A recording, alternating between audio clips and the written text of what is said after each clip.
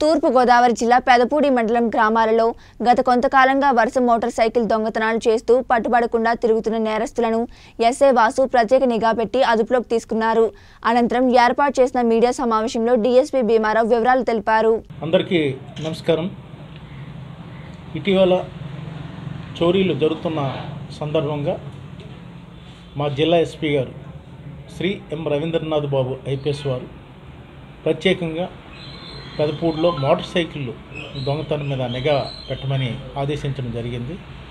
అందులో భాగంగా rural inspector గారు శ్రీ శ్రీనివాస్ గారు మరియు పెదపూడి ఎస్ఐ వాసు గారు వారి సిబ్బంది ప్రత్యేక నిఘా పెట్టి వాహనాలు చోరీ చేస్తున్న ఒక బ్యాచ్ని పట్టుకోవడం జరిగింది. అందులో భాగంగా ఎనిమిది వాహనాలు అంటే టూ వీలర్స్ సీజ్ చేయడం జరిగింది.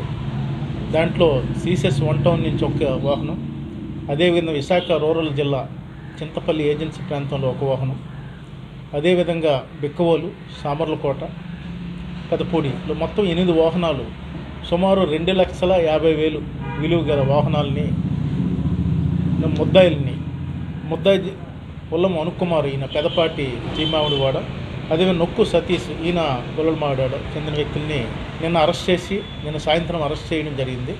అరెస్ట్ చేయగా వాళ్ళు ఇచ్చిన వాంగ్మూలం ప్రకారం ఎనిమిది వాహనాలని స్వాధీనం చే- చేసుకోవడం జరిగినది.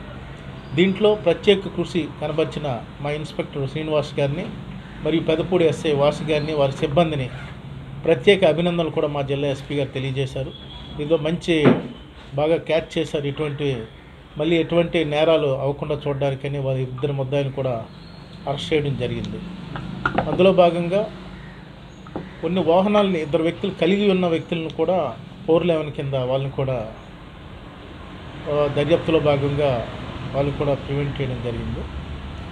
ముఖ్యంగా ఈ కేసులో మా సిబ్బందికి అందరికీ డిటెక్ట్ చేసినందుకు నా తరపున కూడా అభినందనలు తెలియజేసుకుంటున్నాను. థ్యాంక్ యూ అండి.